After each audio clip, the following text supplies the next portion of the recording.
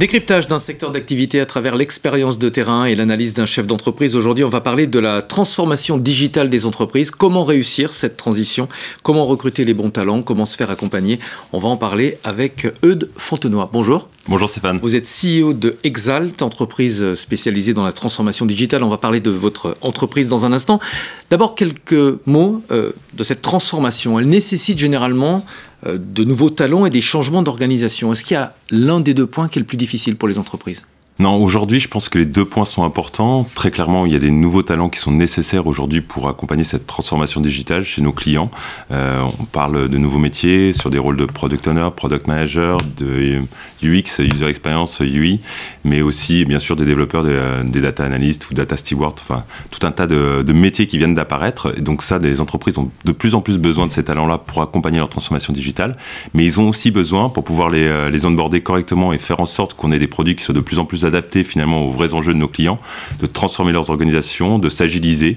Ils vivent dans un environnement complètement incertain, euh, avec, euh, on l'a vu, la Covid qui arrive, ça bouleverse euh, potentiellement les métiers, des nouveaux acteurs dans les X-Tech qui arrivent du jour au lendemain et qui viennent disrupter leurs relations. Donc ils ont besoin d'avoir une notion de time to market et des produits plus adaptés à leurs clients. Donc ils ont besoin de se transformer et d'être de plus en plus agiles par rapport à ça. La pénurie de talents aujourd'hui, des talents qui ont des compétences très spécifiques, vous pensez qu'elle est structurelle ou conjoncturelle? Alors c'est une pénurie qui est à la fois structurelle, puisque euh, finalement le marché euh, autour des talents du digital, euh, finalement c'est un marché qui a été tendu depuis de très nombreuses années, mais plus particulièrement en ce moment, puisqu'on sort bah, à la fois de, de, cette notion d'épidémie qu'on mm. vit depuis quelques années, qui a dans un premier temps eu tendance à réduire les budgets autour des investissements qui étaient faits par les entreprises, et aujourd'hui qu'on tendance à vouloir rattraper ça. Et puis surtout, comme je vous disais, on est, bah, ces entreprises sont aujourd'hui confrontées à des nouveaux acteurs qui viennent de disrupter et ont besoin d'aller plus vite dans leur transformation et donc besoin de faire appel de plus en plus à ces talents. Quelles sont les compétences dont les entreprises ont besoin aujourd'hui? Euh, On sait que la transformation digitale accorde beaucoup d'importance à ce qu'on appelle les, les soft skills. La transformation des entreprises, c'est n'est euh, pas un sujet simple à gérer, c'est un sujet complexe et qui nécessite finalement plusieurs personnes pour pouvoir être amené à trouver cette solution. Donc on ne peut pas avoir une seule personne qui a les meilleures compétences techniques qui va être en capacité de transformer finalement une organisation, un système d'information de nos clients. Donc on a besoin d'avoir des gens qui sont en capacité de pouvoir faire de l'intelligence collective, de travailler, de collaborer ensemble, de pouvoir s'adapter à un environnement. Les problématiques sont pas les mêmes qu'on est dans un groupe de 120 000 personnes que qu'on est dans une petite euh, start-up de 30 personnes. On a besoin d'avoir des gens qui sont en capacité de s'adapter, d'être curieux, de vouloir d'être partie prenante et d'être impliqué finalement au projet. Donc cette notion de soft puis c'est beaucoup de métiers finalement qui sont en œuvre pour pouvoir euh, agir dans, la, dans cette transformation. Et donc on a besoin d'interconnecter tout le monde autour de ça. Donc on a besoin bien sûr de pouvoir collaborer les uns avec les autres, communiquer. Donc les soft skills sont particulièrement importants. Oui. Lorsque les entreprises sont confrontées à des difficultés de recrutement, généralement elles essayent de former des gens en interne, de faire évoluer des profils. Est-ce que ça fonctionne? Pour les métiers liés à la transformation digitale Oui, bien sûr. On a plein d'exemples aujourd'hui de reconversion et très clairement, je pense que c'est une des vraies euh, sources. Enfin, c'est un levier qui va être euh, finalement nécessaire dans les années à venir, puisqu'on ne forme malheureusement pas assez aujourd'hui euh, de talents dans le digital en sortie d'école. Et la reconversion, c'est à mon avis un des leviers les plus importants qu'on doit pouvoir actionner très prochainement pour pouvoir accélérer sur notre capacité mm. à recruter de nouveaux talents. Comment est-ce que vous aidez les entreprises à répondre aux difficultés de recrutement? Comment est-ce que vous les accompagnez? Bah, notre métier aujourd'hui, c'est d'être en capacité de pouvoir proposer justement des talents dans le digital à ces entreprises pour les aider à se transformer. Donc aujourd'hui, notre façon d'accompagner, c'est finalement de, trouver les meilleurs talents euh, du marché, d'être en capacité de pouvoir les recruter et les proposer après à nos clients. Hmm. J'imagine que vous êtes vous aussi confronté à des euh, pénuries de recrutement. Comment est-ce que vous, euh, vous réussissez chez Exalt à attirer les talents et à les conserver? Je pense que chacune des entreprises a ses, petites, ses petits secrets. Nous, en tout cas, on est parti sur un modèle d'entreprise, en tout cas, qui, à notre sens, répond à des besoins que peuvent avoir justement ces talents dans le digital. Donc euh, Exalt, on a été fondé euh, autour de la création d'un framework qui était dédié à l'expérience employée. Donc d'ailleurs, le nom d'Exalt euh, vient de là, Ex pour expérience employée, Alt pour Alto Porteo. Donc c'est Porteo l'expérience employée. Et on a créé tout un modèle autour, justement inspiré plutôt d'un modèle holocratique. Donc qui favorise finalement la responsabilisation de nos collaborateurs, qui favorise leur implication au sein d'entreprise. On va retrouver euh, beaucoup de choses autour de la capacité à ce qu'ils puissent co-construire avec nous l'entreprise par le biais de chantiers, par le biais d'ateliers, des cercles de responsabilité, des cercles produits, des cercles métiers. On va retrouver euh, tout un écosystème aussi où on va dédier du temps tout au long de l'année pour leur permettre de pouvoir apprendre ensemble par le biais de pairs ou par le biais de personnes venant de l'extérieur, avec des journées où on sort tous les collaborateurs à peu près une fois tous les trimestres pour travailler sur des open forums ou travailler avec nous. Donc c'est finalement tout un framework qu'on met en place pour pouvoir favoriser à la fois la capacité de garder ce lien vis-à-vis des collaborateurs, puisqu'on travaille dans un métier qui est on a souvent des compétences qui sont déléguées chez des clients, donc qui ne sont pas présents au quotidien avec nous. Donc c'est important qu'ils puissent avoir le sentiment d'appartenance, et en tout cas d'avoir des moments privilégiés avec nous. Et puis bien sûr des moments festifs, des moments où on nourrit aussi.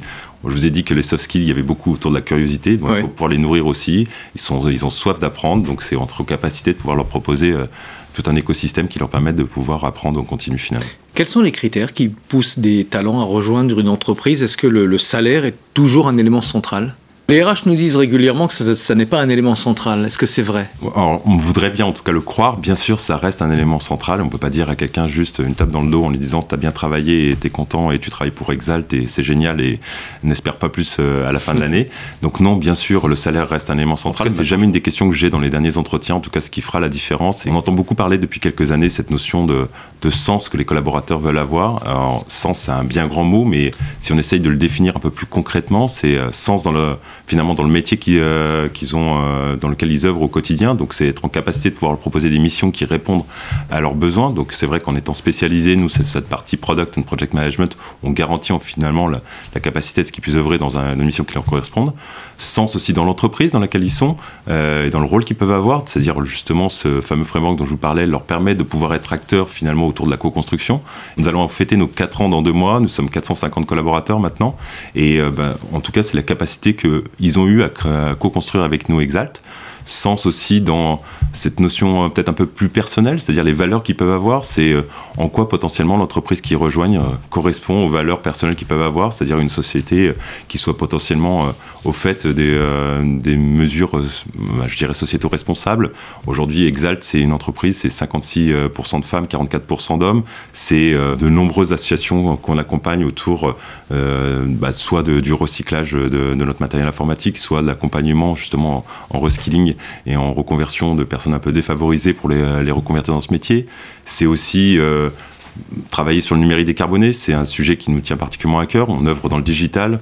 Euh, aujourd'hui, on est conscient que le digital a une part importante, en tout cas, de responsabilité dans euh, justement ces cette transformation climatique que nous vivons. Donc c'est comment on sensibilise nos collaborateurs. Et donc c'est vrai que bah, quand on dit à des candidats qui viennent nous rejoindre que bah, chez nous 100% vont être accompagnés autour du numérique décarboné et avec une offre particulièrement par rapport à ça, c'est des choses qui leur parlent. Et, ça fait écho avec leurs convictions. Et c'est des choses dont ils sont fiers de, finalement de parler le week-end quand ils auront rencontré leur famille. Ils vont parler potentiellement du framework, euh, de leur implication sociale et ainsi de suite. Est-ce que les, les nouveaux modes d'organisation du travail, comme le télétravail ou la flexibilité, sont des critères importants aujourd'hui? Oui, ça arrive. Beaucoup nous demandent, en tout cas, euh, nous posent la question par rapport à ça. Après, la réalité, c'est que nous restons une entreprise de services et de conseils. Donc, finalement, nous mettons à disposition des compétences pour euh, accompagner nos clients. Donc, on est quand même dépendant aujourd'hui, pour beaucoup encore, de euh, finalement des, mesures qui sont prises chez nos différents clients. Donc, on ne peut pas garantir à un consultant qui aura forcément trois ou cinq jours de télétravail ou ainsi de suite. Après, ce que l'on voit, c'est qu'il y a quand même une besoin. On parlait de cette notion de sens. On a quand même, on ressent depuis quelques mois, tout cas une nécessité des collaborateurs, des consultants de se reconnecter avec leur lieu de travail. Aujourd'hui, euh, on a d'ailleurs, euh, euh, Lucie, notre directrice de la communication, a fait un très bel article sur le corporate working. C'est quelque chose auquel on croit beaucoup. Beaucoup d'entreprises ont plutôt réduit leur surface de travail depuis quelques années en revendant des locaux. Nous, on a pris beaucoup plus d'espace et donc avec des espaces dédiés pour les consultants sur lesquels ils viennent faire finalement du corpo working. Ils viennent travailler dans nos locaux à la place de faire du télétravail. Ça leur permet d'échanger aussi, de pouvoir pouvoir travailler sur des sujets internes en même temps qui euh, viennent travailler pour leur mission chez leurs clients. Dernière question, qu'est-ce que la crise, selon vous, a, changé pour le, monde du consulting? Elle a changé plusieurs aspects. Elle a changé euh, à la fois la demande de nos clients, donc on est euh, très clairement sur un beaucoup plus grand nombre de, de, demandes de la part de nos clients. On est sur un marché très clairement aujourd'hui, ce qu'on pourrait appeler un marché de ressources. Donc aujourd'hui, il y a beaucoup plus de sollicitations que, que finalement de, collaborateurs étant en capacité de les accompagner. Donc ça, c'est un premier élément. Et surtout, ça a changé cette notion, cette crise des talents, fait qu'il y a une prise de considération euh, des entreprises de conseil sur euh, cette notion de talent first. Hmm. Donc aujourd'hui, oui, euh, la priorité dans toutes les entreprises commence à aller vraiment vers le, le collaborateur, vers le candidat, ce qui n'était pas forcément toujours jusqu'à maintenant le cas. Merci beaucoup d'être venu en plateau. Euh, Eudes Fontenoy nous parler de votre entreprise, CEO de Exalt, entreprise spécialisée dans la transformation digitale. Merci beaucoup. À très bientôt pour un nouveau décryptage.